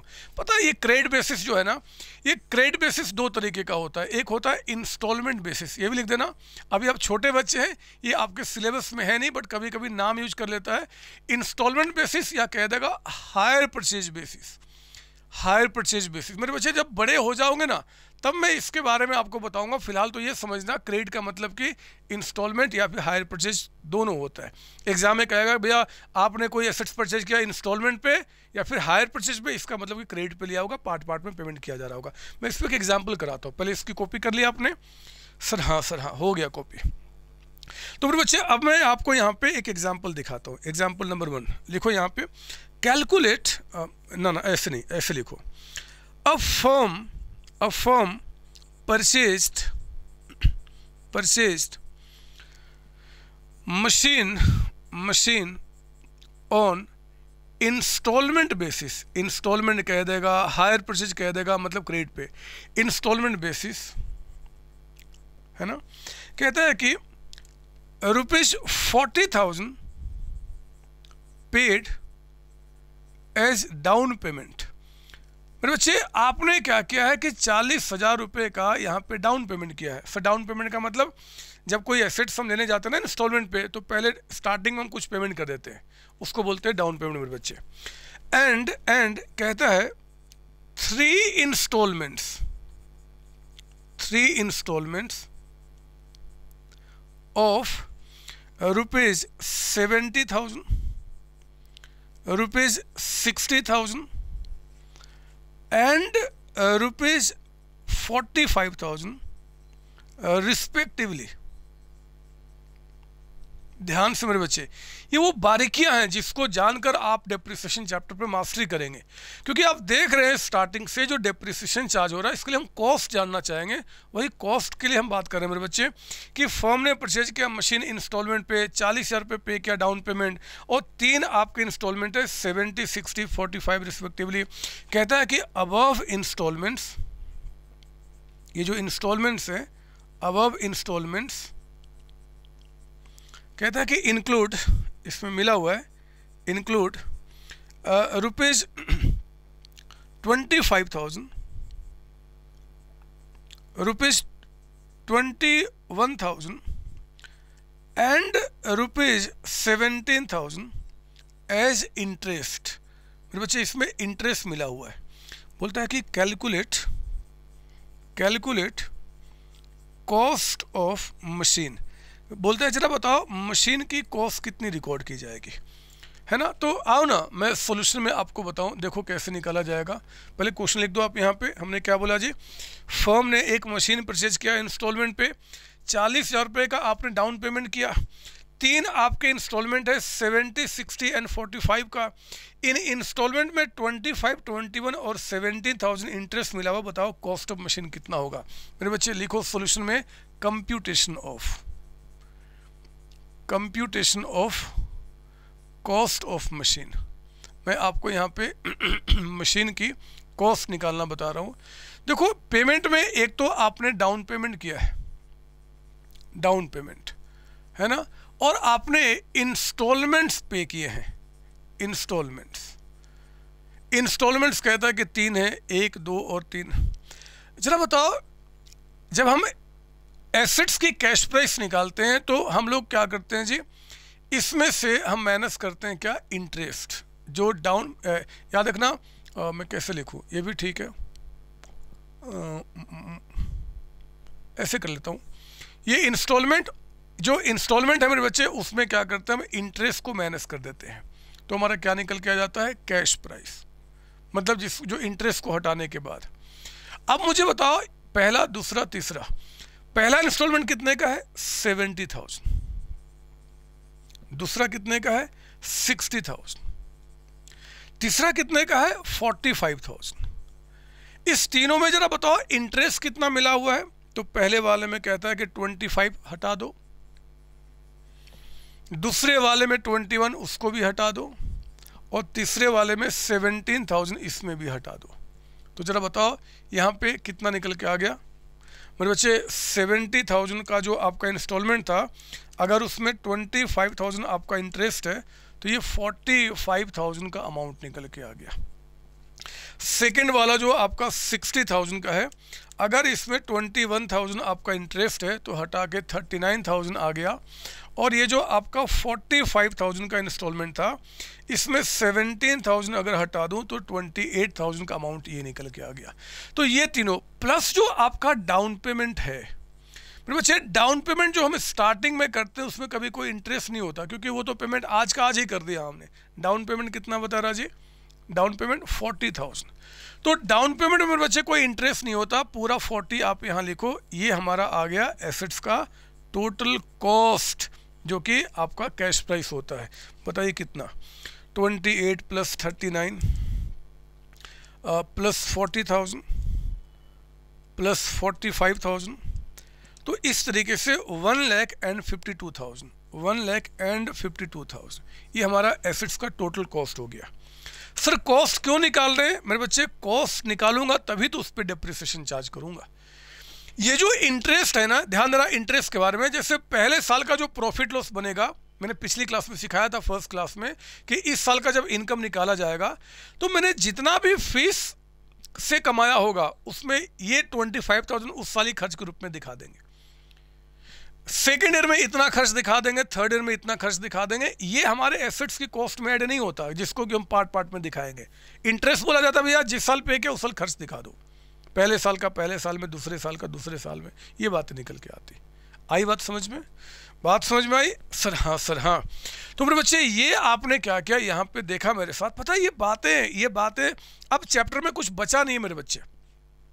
चैप्टर बहुत जल्दी आपका खत्म हो जाएगा। बहुत जल्दी प्रैक्टिस क्वेश्चन जितना हम करेंगे उतना में फ़ायदा होगा। उसी में मैं लंबा खींचूँगा। बाकी कॉन्सेप्ट वाइज तो कुछ खास बचा नहीं है। मैं इसको मिटा के कुछ और बातें आपको बता दूँ और फिर आप मस्ती करें। मैं भी मस्ती करूँ और काम खत्म इसको हटा दूँ मैं? सर हाँ। आज क्या क्या सीखा हमने? हमने क्वेश्चन देखा थोड़ा सा जिसमें कि दो मशीन का परचेज हुआ था बच्चे। फिर उसके बाद हमने देखा जी कि एसेट्स जो होता है अगर कमीशन पे क्या परचेज के टाइम पे तो हम ऐड करते हैं, सेल के टाइम तो हम माइनस करते हैं। एक तो ये देखा, दूसरा हमने क्या देखा, ये आपका वो इंटरेस्ट अगर कोई क्रेडिट पे हम सामान लेते हैं, सामान मतलब एसेट्स लेते हैं इंटरेस्ट कभी भी उसके कॉस्ट का पार्ट नहीं बनेगा। ठीक है ना? सर हाँ सर हाँ। अब मैं आओ जरा वो डायग्राम जो आपको बताया था ना स्टार्टिंग में। अब मैं क्योंकि अल्टीमेट कॉन्सेप्ट पे आ रहा हूँ, आप थोड़े बड़े हो गए हैं, आपके हाथ पर खिल गए हैं मेरे बच्चे तो अब अल्टीमेट कॉन्सेप्ट आप सीख सकते हो एसेट्स की कॉस्ट को लेकर।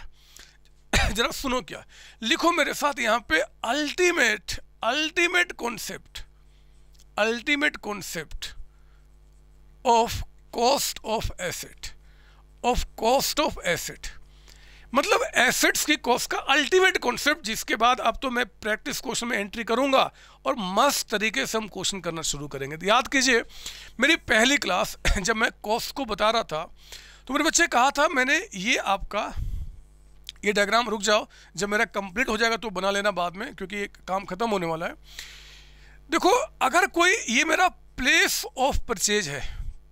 Place of purchase of asset मैंने कोई एसेट जो कि परचेज किया, मान लो किसी शोरूम से शोरूम से। और मेरे बच्चे, ये हमारा है प्लेस ऑफ़ यूज़ ये हमारा क्या है जी? प्लेस ऑफ़ यूज़ यानी कि place of use of asset जहाँ पे मुझे एसेट्स को यूज़ करना है। मान लो ये मेरा क्या था जी? फैक्ट्री था मेरे बच्चे। ये फैक्ट्री है जहाँ पे मुझे एसेट्स को यूज़ करना मैंने कहा था कि इसके बीच में जितने सारे खर्चे होंगे, ये सारे खर्चे कहे जाते हैं फ़र्स्ट टाइम एक्सपेंडिचर ये सारे खर्चे कहे जाते हैं फ़र्स्ट टाइम एक्सपेंडिचर मेरे बच्चे, इन सारे खर्चों को हमने कहा था they all are they all are added added, they all are added to the cost of asset, to the cost of asset. है ना? हमने उसको ऐड करना होता है। हाँ यहाँ पे हमने किसको हटा दिया था जी?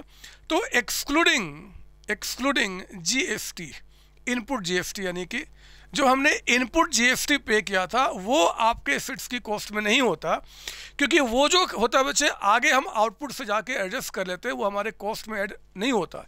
इसलिए हमने क्या किया, यहाँ पे आपको बोला फ़र्स्ट टाइम एक्सपेंडिचर ठीक है। ठीक है मेरे बच्चे, मुझे इस पर एक एग्ज़ाम्पल और कराना है। मैं अब आपके अल्टीमेट कॉन्सेप्ट पे आ रहा हूँ। जरा सुनो मेरी बात। सर डायग्राम बना ले। ठहरो अभी। अभी डायग्राम पूरा नहीं हुआ। ये तो पहली क्लास में बताया था। तो इस क्लास में क्या खास बात है? थोड़ा सा सब्र तो करो। सुनो मेरी बात। मैं इसको इधर कर लेता हूँ। बिल्कुल साफ़ सुथरा, दिमाग शांत, बिल्कुल शांत बिल्कुल शांत बिल्कुल शांत। ठीक है? अब मेरी बात सुनना। मैं इसको सम अभी यहाँ पे नीचे लिख रहा है मेरे बच्चे। यानी कि अगर इस पेज को पूरा छोड़ दो तो अच्छी बात है। इस पेज को छोड़ दो। अगले पेज पे लिखो एक एग्ज़ाम्पल मेरे साथ। कहता है यहाँ पे कि आपका purchase price purchase price of क्या ले लूँ मैं? जरा बताओ जो आपके लाइफ में चलता है। आ, मैं काम करूँ कार या बाइक ले लूँ क्या? चलो कार ले लेता हूँ। कार बाइक वही समझ लो। मैंने परचेज प्राइस ऑफ़ कार कहता है यहाँ पे मान लो रुपये सिक्स लैक्स है। छः लाख रुपए ठीक है ना? मेरे बच्चे, इसके बाद क्या हुआ कि मैंने कमीशन पे किया। कमीशन पे किया ऑन परचेज आप दिमाग ओपन रखना, जो शब्द अब बोलने वाला हूँ। मेरे बच्चे, मान लो हमने इसको जिस आदमी से परचेज किया, उसने एक लाख का हमसे कमीशन चार्ज कर लिया। कमीशन फिर क्या हुआ? फिर क्या हुआ? आ, मैं कार छोड़ देता हूँ। मैं काम करता हूँ यहाँ पे ना कार से ज़्यादा मज़ा आपको आएगा। मैं मशीन लिख सकता था बट एक्चुअली आपके लाइफ से बात करनी है। आपके लाइफ में जो चीज़ें होती हैं तो मैं एसी की बात कर लेता हूँ। हमने एक एसी परचेज किया छः लाख का।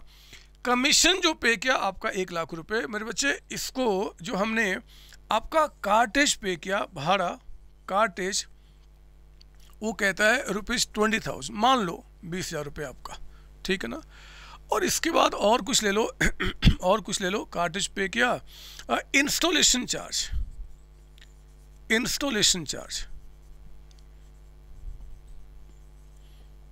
इस पे कहता है कि थर्टी थाउज़ेंड हो गया। सर छः लाख का कौन सा ऐसी आता छोड़ो ना, मान लो ना।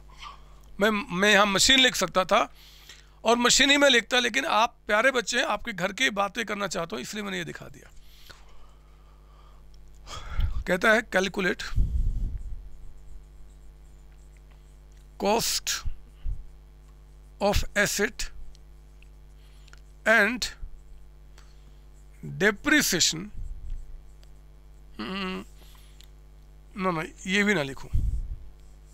ये भी ना लिखूं। लिखो यहाँ पे estimated life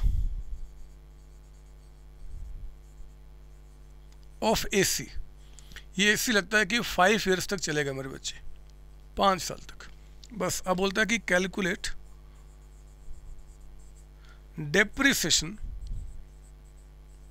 depreciation per year ठीक है ना? कुछ चीज़ें हम लोग पढ़ते हैं दिमाग को अपग्रेड करने के लिए।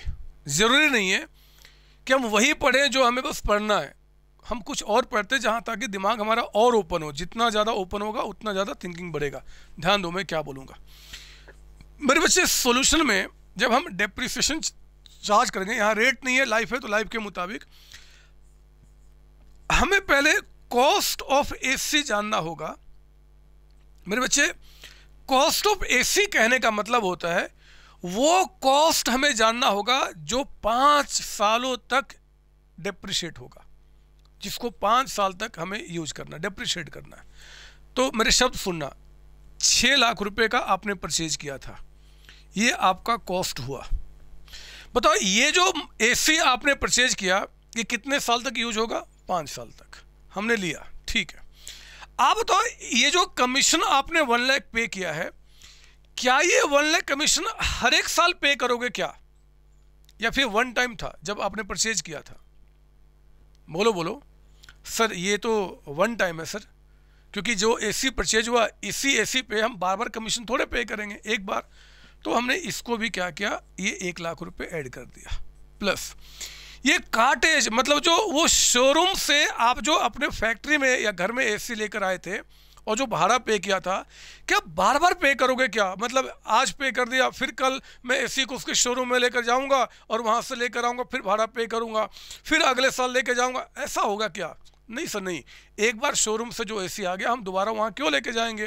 तो मेरे बच्चे, ये बीस हज़ार रुपये भी वन टाइम खर्च है जो आपने एसी पे किया है। अब तो इंस्टॉल भी एसी को बार बार करोगे क्या? कि आज इंस्टॉल किया, फिर हमने इसको निकाल के नीचे रख दिया, फिर उसको बुलाया, अगले साल ऐसा करोगे क्या? नहीं सर, नहीं। हमारा इंटेंशन एक बार एसी इंस्टॉल हो गया तो फिर यूज़ हो जाए। बार बार क्यों करेंगे? यानी कि ये भी वन टाइम खर्च है। मेरे बच्चे, ये भी हमने ऐड कर दिया। वो सारे खर्चे जो वन टाइम हो रहे हैं at the time of purchase ये सारे खर्चे क्या हो रहे हैं? वन टाइम वन टाइम मतलब कि एक बार जो खर्च होंगे at the time of purchase at the time of purchase at the time of purchase मैं मैं यहाँ पे uh, इसको यहाँ तक ले लेता हूँ क्योंकि ये भी तो वन टाइम खर्च ही। है ये सब आपके एसेट्स की कॉस्ट में ऐड होगा। सब ऐड होगा। तो जरा बताओ एसेट्स की कॉस्ट कितनी होगी? सेवन लैख फिफ्टी थाउज़ेंड साढ़े सात लाख रुपए। मेरे बच्चे, अगर हमें डेप्रीसिएशन चार्ज करना है डेप्रीसिएशन चार्ज करना है तो हमें डेप्रीसिएशन पर ईयर निकालने के लिए मैंने कहा था कि आपके एसेट्स का जो डेप्रिशिएबल वैल्यू है, जो वैल्यू डेप्रिशिएट होगा, उसको आप क्या करना डेप्रिशिएबल लाइफ से डिवाइड कर देना। याद है आपको? सर हाँ सर हाँ। बताओ एसी की cost seven lakh fifty thousand अब तो पाँच साल के बाद जब मैं इसको बेचूँगा तो मुझे कितना मिलेगा? सर, कुछ नहीं बता रहा है। मतलब स्क्रैप वैल्यू क्या है जी? ज़ीरो है। तो पूरे साढ़े सात लाख डिप्रिशिएट हो जाएगा। कितने वर्षों में? पाँच साल में। तो कितना आ गया जी? ये आ गया वन लैख फिफ्टी थाउज़ेंड डेढ़ लाख रुपए। डेढ़ लाख मेरे बच्चे। यानी कि जब प्रॉफिट लॉस बनाऊँगा, जब प्रॉफिट निकालूँगा तो इस इस एसी की कॉस्ट कितना बताऊँगा? 750 और डेढ़ डेढ़ लाख रुपए क्या करेंगे? हम डेप्रिसिएशन चार्ज करेंगे, ये बात। सर, ये क्या नया है? ये क्या नया सर? क्यों क्यों आप परेशान कर रहे हो? हमें तो पता है, सर, ये चीज़। हमें पता है। ना बच्चे, ना। ये एक्चुअली मुझे समझाना ही नहीं था। मुझे तो अभी यहाँ मत लिखना। एग्ज़ाम्पल बात के आगे लिखना। वन के बाद लिखना। एग्ज़ाम्पल नंबर टू मुझे ये एक्चुअली समझाना था। पता है क्या? इस पर देता हूँ परचेज ऑफ़ कार। हमने कार परचेज किया। आप कुछ भी लिख सकता था। मान लो यहाँ पे पाँच लाख रुपए का फाइव लैक्स का।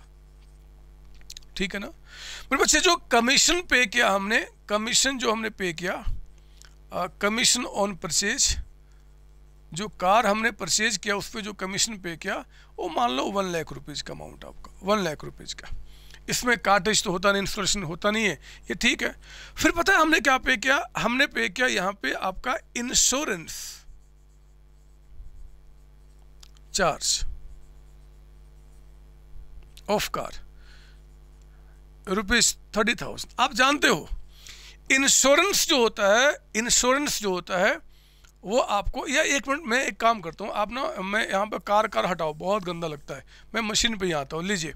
परचेज प्राइस सर हम भी मिटा दें? हाँ। सर हम कैसे मिटाएँगे? हम तो लिख चुके थे, काट दो ना। Purchase of machine purchase price कर दो। परचेज प्राइस ऑफ़ मशीन आपने जो मशीन परचेज किया मेरे बच्चे, वो फोर लैक्स का है, चार लाख का। इस मशीन को परचेज करने में जो कमीशन पे किया आपने, कमीशन ऑन परचेज, ताकि सारी बातें आ जाए, इसलिए मैं चाहता था, वहाँ पे सारी बातें नहीं आ पाती, ये मान लो फिफ्टी थाउज़ेंड। फिर हमने इस मशीन को लाने में कार्टेज भी पे किया, कार्टेज फ्रेड जो भी कह दो, ये मान लो आपका टेन थाउज़ेंड। मेरे बच्चे, हमने इस मशीन को इंस्टॉल करने में भी खर्चे किए। इंस्टॉलेशन एक्सपेंस या चार्जेज रुपीज़ थर्टी थाउज़ेंड और हम लोगों ने इस कार मशीन का इंश्योरेंस करा दिया। Insurance charges rupees twenty thousand ये चार्ज हमेशा पर एनम होता है। मतलब इंश्योरेंस जो होता है ना आप अपने पापा मम्मी से पूछ लेना कि जो उनके घर में बाइक है या कार है या जो भी कुछ है, हर एक साल इंश्योरेंस होता है। हर एक साल। हर एक साल उसका प्रीमियम पे करना पड़ता है। तो मेरे बच्चे, ये आपका निकल के आया।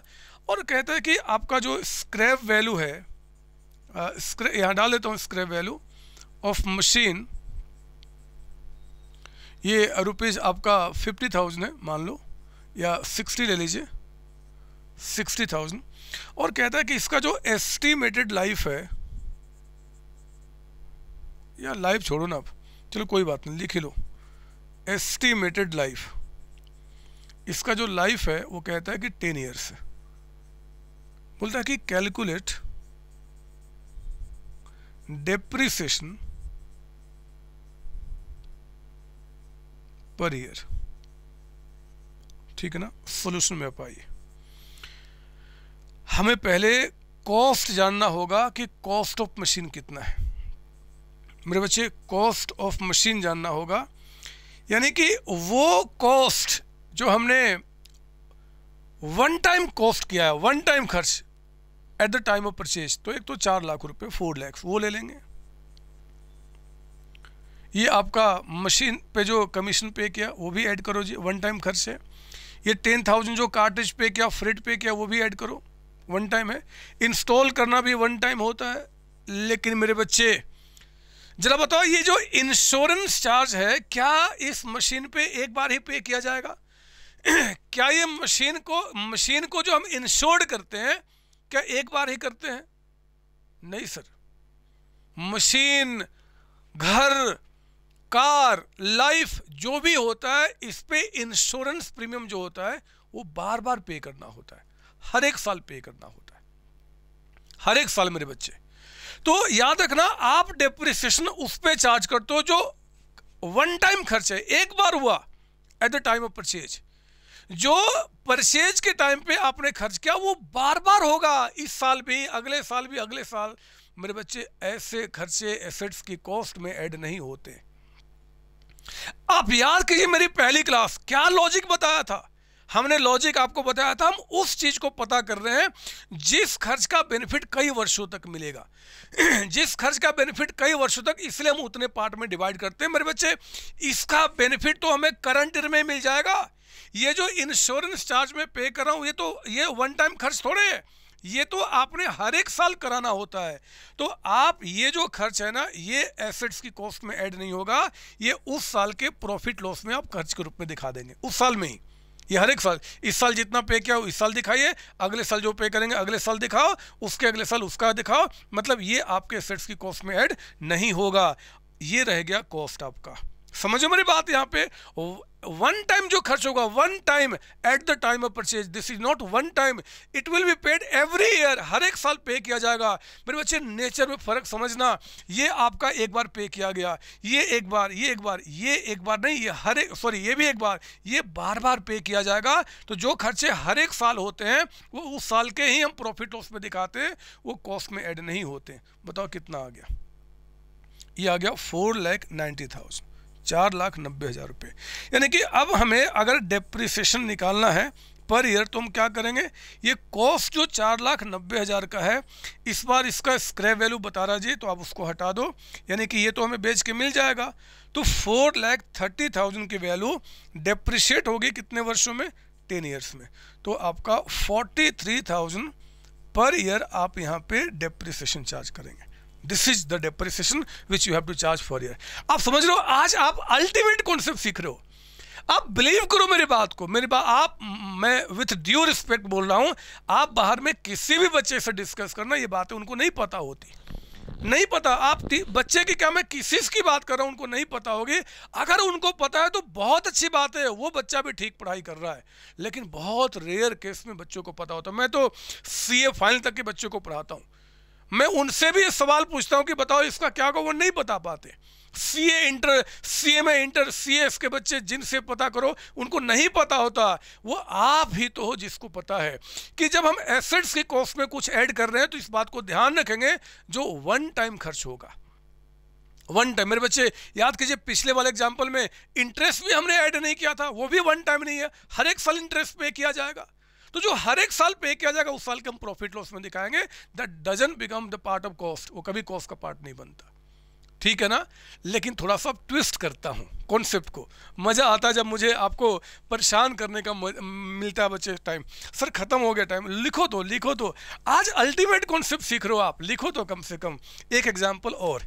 एग्ज़ाम्पल नंबर थ्री बच्चे कहता है कि purchase price purchase price of machine आपने कोई मशीन परचेज किया है और उसका कॉस्ट कहता है कि एक लाख रुपए वन लैख फिर कहता है कि कमीशन पे किया। कमीशन आपने पे किया है ऑन परचेज ऑन परचेज आपने परचेज पे मान लो ten percent commission ten thousand commission pay किया। आपने फ्रेट पे किया। फ्रेट यानी कि भाड़ा। सर फ्रेट और कार्टेज में क्या फ़र्क होता है? बच्चे फ्रेट जो होता है ना, हम जनरली पे करते हैं लॉन्ग डिस्टेंस के लिए। फ्रेट कार्टेज दोनों का मतलब भाड़ा ही होता है। लेकिन फ्रेट जब कहते हैं तो लंबे डिस्टेंस के लिए और कार्टेज छोटे डिस्टेंस के लिए होता है। ठीक है ना? और कुछ खास फ़र्क नहीं है। ऐसे फ्रेट कार्टेज कुछ भी लिख दो, कोई दिक्कत नहीं है। और फिर आपने लिया यहाँ पे इंस्टॉलेशन इंस्टॉलेशन चार्जेज चार्जेज ये मान लो आपका फाइव थाउज़ेंड है। अब देखो मैं क्या लिख रहा हूँ। इंश्योरेंस ऑफ़ इस पर डाल दिया ट्रांजिट लो रास्ते का दो हज़ार रुपये। और मेरे बच्चे, अब मैं कह रहा हूँ इंश्योरेंस यहाँ पे किसका? मशीन का। और हम इंडेफ जा रहे हैं। ये कहता है, मान लो रुपीज़ आपका फाइव थाउज़ेंड फाइव थाउज़ेंड बोलता कि calculate calculate cost of machine आपको बस ये ध्यान रखना है कि कौन से खर्चे हैं, कौन से खर्चे हैं जो वन टाइम है one time and first time expenditure one time मतलब जो एक बार होगा। जो एक टाइम होगा, एक बार होगा और कब जी? आपका परचेज के टाइम पे। वो सारे फिट्स की कॉस्ट में ऐड होगा। सॉल्यूशन लिखो आप। कॉस्ट ऑफ़ मशीन बताओ, ये एक लाख सर होगा। एक ही बार खर्च होना है ये। ये दस हज़ार सर एक बार ही होना है। ये पंद्रह हज़ार सर एक बार ही होना है। प्लस ये सर एक बार ही होना है। पर बच्चे ट्रांजिट का आपने इंश्योरेंस करा दिया। जब मशीन रास्ते में आ रहा था मशीन रास्ते से आ रहा था, आपको डर लगा, कहीं कहीं रास्ते में गुड्स डैमेज ना हो जाए। मतलब कहीं ट्रक का एक्सीडेंट हो गया तो मेरा मशीन तो टूट जाएगा। इस डर से बचने के लिए सिर्फ़ उस रास्ते का आपने इंश्योरेंस कराया, दो हज़ार रुपये चार्ज कटा। आप बताओ, ये रास्ते का जो इंश्योरेंस कराओगे, ये बार बार होगा क्या? बार बार होगा क्या? ना ना ना ना। सर, वो तो शोरूम से एक बार आना है तो एक बार, ये वन टाइम खर्च है मेरे बच्चे, ये तो ऐड करूँगा। लेकिन जो इंश्योरेंस आपने मशीन का कराया इस साल का मतलब पर एनम वाला, ये कॉस्ट कभी भी ऐड नहीं होगा। जैसे हमने यहाँ नहीं किया था। रास्ते का इंश्योरेंस कर सर एग्ज़ाम में नहीं बता रहा है कि इंश्योरेंस रास्ते का है कि उसका परिणाम वाला तो फिर हम क्या मानेंगे? वो परिणाम वाला होगा मतलब हर एक साल वाला। जब भी ट्रांजिट का होगा, वो साफ़ साफ़ शब्दों में कहेगा इंश्योरेंस ऑफ़ ट्रांजिट वो ट्रांजिट का वो कहेगा, मेरे बच्चे, जैसे यहाँ पे कहा, ना कुछ बोले तो हमेशा क्या मानेंगे? वो जो परिणाम होता है, यानी कि वो नहीं ऐड होगा। तो कितना हो गया? वन थर्टी टू एक लाख बत्तीस हज़ार रुपये ये आपकी एसेट्स की कॉस्ट है। जो भी डेप्रिसिएशन चार्ज करना, हम इस पर चार्ज करना शुरू करेंगे। आई बात समझ में? बात समझ में आई? सर हाँ सर हाँ। मेरे बच्चे, आप बिलीव करो, अभी कहानी ख़त्म नहीं हुई है। अभी इस टेबल में बहुत सारी बातें अभी और होनी है, लेकिन उसके लिए सब्र तो करना ही पड़ेगा। मैं बस इस टेबल में आज इतना ऐड कर देता हूँ फ़र्स्ट टाइम एक्सपेंडिचर और साथ ही साथ क्या जी, जो वन टाइम होते हैं वन टाइम मतलब जो बार बार नहीं होते, हम उन्हीं की बात यहाँ पे कर रहे हैं। सर, आपने पहली क्लास में क्यों नहीं बताया था? क्योंकि आप वहाँ पे बहुत छोटे थे। समझने के लिए। लेकिन जब आपने इतना समय मेरे साथ गुजार लिया, तब तो बातें समझ में आएँगी मेरे बच्चे। आप लिख लो, और भी बातें होने वाली है। सर, ये तो फ़र्स्ट टाइम हुआ। मान लो एसेट्स फैक्ट्री में यूज़ स्टार्ट शुरू हो गया। उसके बाद कुछ खर्च होगा तो अगली क्लास का डिस्कशन है। थाम के रखना अपने दिमाग को। और प्लीज़ मेरे बच्चे, यहाँ तक कि सारी बातें रिवाइज कर लेना, तभी अगली क्लास में बातें समझ में आएँगी। बहुत मज़ा भी करने वाले हैं। जब क्वेश्चन में आपका परचेज होगा सेल होगा, कभी कुछ होगा, कभी कुछ होगा, और वो महामंत्र जो मैंने आपको बना के दिया था, उसको याद रखना। अगली क्लास में हम डिस्कशन करेंगे। आप सबको bye bye tata bye bye tata बच्चे। कई सारे बच्चे मुझसे पूछते हैं कि, सर, आप एलेवन ट्वेल्व क्लास को क्यों पढ़ा रहे हो? और वो भी फ्री ऑफ़ कॉस्ट रीज़न क्या है? मेरे बच्चे, मैं सच्चाई बता रहा हूँ इसमें जितना जितना फ़ायदा आपका है ना, उससे उतना एटलीस्ट उतना फ़ायदा मेरा भी है। मैंने सीए की, ये मेरी बुक्स है। ये सीए फाउंडेशन की बुक है, ये सीए इंटर ग्रुप वन की बुक है, और ये हमारे सीए इंटर ग्रुप टू की बुक है। ये सारी बुक्स मैंने अपने बच्चों के लिए लिखा हुआ है। यही नहीं, हमारे, ये सीएमए की बुक है। ये हमारे सी एम ए के अंदर में सी एम ए के अंदर में सी एम ए फाउंडेशन ये मेरा C M A inter group one की बुक मैंने आपके लिए लिखा हुआ है। ये C M A inter group two की बुक मैंने आपके लिए लिखा हुआ है और ये सी एम ए फाइनल की बुक मैंने आपके लिए लिखा हुआ है। इसी तरीके से सी एस की मेरी बुक है, मेरे बी कॉम की बुक्स है। मैंने सबको, मैंने सबके लिए बुक तैयार किया है मेरे बच्चे और उनको मैं पढ़ा रहा हूँ और बहुत बेहतर तरीके से हज़ारों बच्चे ऑल आपके ऑल ओवर इंडिया में हर एक साल मुझसे पढ़ते हैं। एलेवन ट्वेल्व क्लास आपको फ्री करने का जो मेरा मेन रीज़न है वो रियली बता रहा हूँ, सिर्फ़ मेरा स्वार्थ ये देख रहे हो आप? ये ऐसी बुक्स है ना बच्चे, और भी बुक्स है मैं कितना उठाता, ये जो बुक्स मैंने लिखी हुई हैं, जब मैं इनसे अपने बच्चों को पढ़ाता हूँ, मैं देखता हूँ कि कई सारे बच्चे जिन्होंने एलेवन क्लास ट्वेल्व क्लास में ठीक से नहीं पढ़ा, चाहे वो फाइनेंशियली वीक बच्चे थे, चाहे वो आपका जहाँ पे रहते थे, वहाँ पे बेटर जो आपका एजुकेशन होना चाहिए, वो अवेलेबल नहीं है, और इसके चलते वो आपके परेशान हो जाते थे। उनको डर लगता था कि यार, संतोष सर तो बहुत दूर बैठे हैं और उनसे अगर वो सामने ना हो तो फिर कैसे मैं इंटरेक्ट करूँगा, कैसे मैं डाउट पूछूँगा? इन्हीं चीज़ों से, इन्हीं डर को ख़त्म करने के लिए मेरे बच्चे, मैंने क्या किया? आपको eleventh class twelfth class complete free किया है। आप पढ़ो ना और पढ़ के देखो जरा कौन सा डाउट आपको उठता है।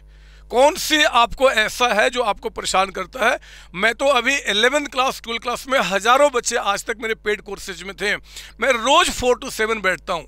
कि कभी तो कोई डाउट आए, कभी तो कोई डाउट आओ रेयरली कोई डाउट मेरे पास आता है बच्चे रेयरली और मैंने वो भी आपके जो डर है ना डाउट का, वो भी ख़त्म करने के लिए मैंने और मेरी सीओसी टीम ने इस बात को डिसाइड किया है कि चैनल पे मैं वीक में एटलीस्ट एक बार अपने सारे फ्री बच्चों के लिए लाइव चैनल पे आऊँगा और आपके डाउट सेशन देखूँगा कि क्या डाउट्स आपके उठते हैं एक्चुअली आप पढ़ो ना आप कल को जो बोलते हो ना, हमेशा मैंने देखा हुआ है, मैंने चैनल पे कि सर मैं फाइनेंशियली वीक बच्चा हूँ, मैं पढ़ाई नहीं कर पा रहा हूँ, अब क्यों नहीं पढ़ाई कर पाओगे?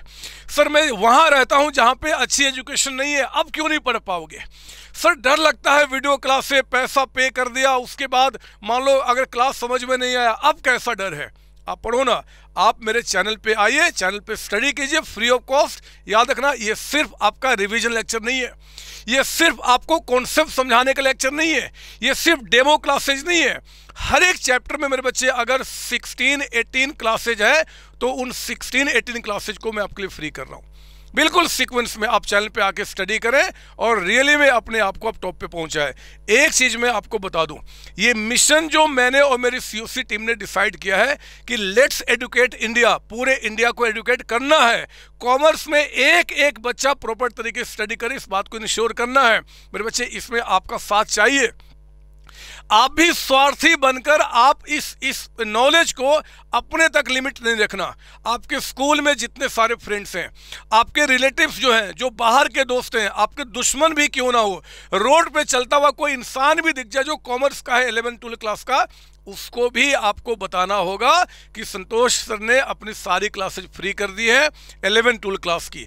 आप उनको आइए, उनके चैनल पे स्टडी कीजिए। सीओसिस आपका कॉमर्स स्कूल, ये बात आप ध्यान रखेंगे और इस चैनल पे आप आइए और ज्वाइन कीजिए और अपने लाइफ को आगे बढ़ाइए। एंड सबको लेकर आए मेरे बच्चे, सबको, तभी हम दोनों का मिशन पूरा होगा। All the best thank you thank you ji. Thank you बच्चों.